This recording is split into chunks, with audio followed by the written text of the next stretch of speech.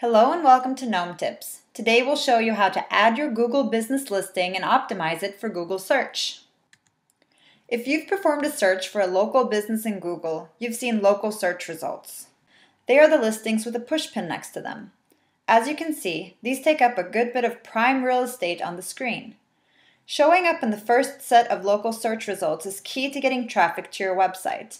There are many factors that determine how well a given business ranks, but one important factor is to make sure your business is listed and verified in Google Places.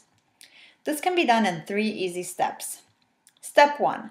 Create a master business listing.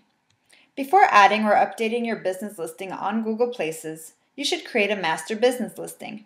This is to ensure that your information matches what you have on your website and on various online directories. It can be as simple as a spreadsheet, like this one. Step 2.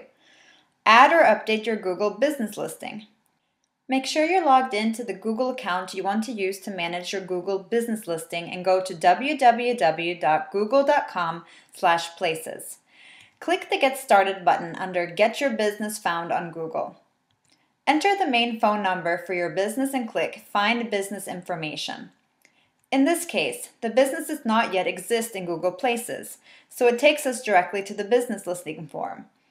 If the business was already listed but not verified, you would have an option to edit your listing. Fill in the required information. The more information you enter, the better. Make sure the address and phone information matches what you have on your website and select categories that make sense to your prospects. Google especially likes photos and videos. You can upload up to 10 images.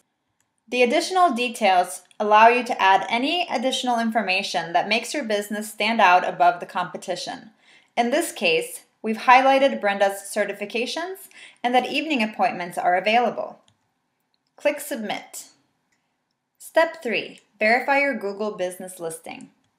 Google wants to make sure that you are the true business owner. This is done through a verification process. There are typically two options, a phone call and a postcard. In this case, we're only seeing the postcard option due to the fact that we are using an out-of-town cell phone number. When we do the final listing for this company, we will use a landline. Now, go make sure your Google business listing is verified. Thanks for watching this edition of Gnome Tips. For more information about local search marketing, visit our website at www.webgnomes.org.